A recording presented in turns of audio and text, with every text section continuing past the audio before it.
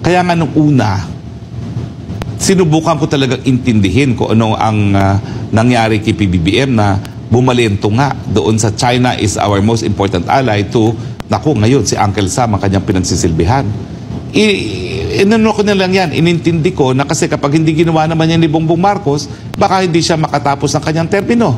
Dahil kapag tuluyan nang nagkaroon ng disgusto ang taong bayan dahil sa mataas na presyo ng bilihin at yung napakong pangako na 20 pesos kada kilo na bigas, eh doon pa rin papatungo yan. So alam nyo, yung ginagawa ngayon ni Harry Roque, bina-blackmail niya yung presidente natin eh. Kung mapapansin nyo yung mga statement niya, he is putting words into the mouth of our president. No? Tina-challenge niya yung kapasidad ng presidente natin to make a decision. Wala eh. O titingnan mo, kung pakikinggan mo yung statement na Harry Roque,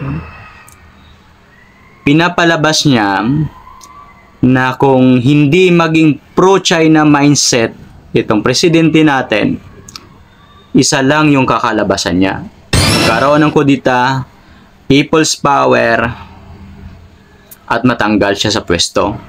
Ito yung pinapalabas ni Harry Roque. So, titingnan nyo, ito yung logic niya sa pag-alyansa ni President Marcos sa Amerika at kalabanin yung China. Ilagay daw ni President Marcos sa alanganin yung kapakanan ng taong bayan ng mga Filipino.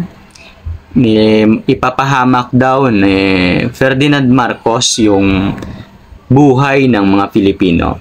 Pinapalabas niya dito, parang kinoconsider niya yung desisyon ni Ferdinand Marcos na biglang nag ano daw, naglaylo daw nakipag-alyansa sa um, Amerika instead sa the best alliance daw according sa kanya is yung China.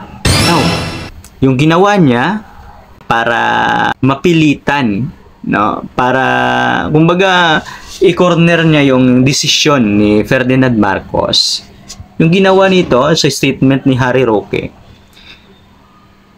is kung hindi ka maging pro-China nakampi ka kay Uncle Tom's nakampi ka sa Amerika So inisip niya na kaya ganito daw yung desisyon ni uh, Ferdinand Marcos Jr. kasi natatakot daw siya na matanggal sa pwesto.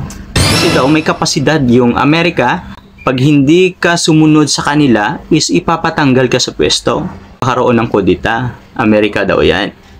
So ngayon, isiningit ni Harry Roque na dahil sa pagtuloy na pagtaas ng presyo ng mga bilihin at yung hindi daw natupad na pangako ni Ferdinand Marcos gawing ibaba sa 20 pesos per kilo na bigas.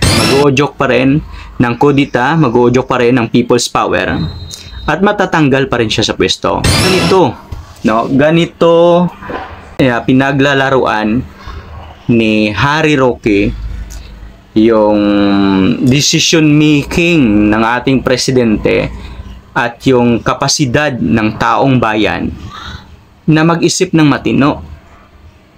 Nilalansin niya tayo eh. Bina-blackmail niya yung presidente natin at bina-blackmail niya tayo na dapat maging pro-China mindset tayo katulad nila.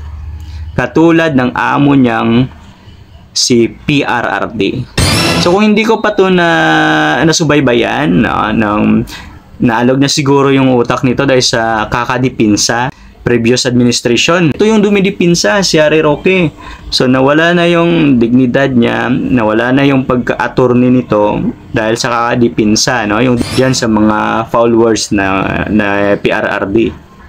So ito yung nangyari hanggang sa na, nadagdagan pa pumasok ito. Parang naging bulaan na propita na din to eh, nung pumasok sa Isiminay. Ito na yung mga kwan, mga salita nito, naging angkor to ng Isiminay. So ayan.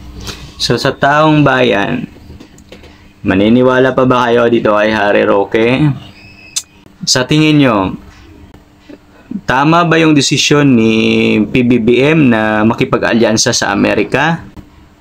O maging pro-China katulad nitong Harry Roque na to at yung kay President Duterte?